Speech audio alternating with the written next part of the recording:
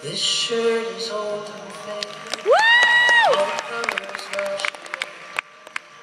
Had it now for more damn years than I can count anyway. I wear it beneath my jacket with the collar turned up high. So old I should replace but I'm not about to try.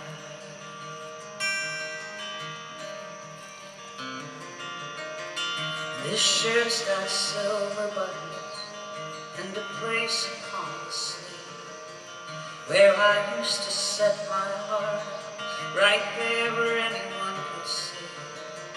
This shirt is the one I wore to every ball and high school dance, where the boys ignored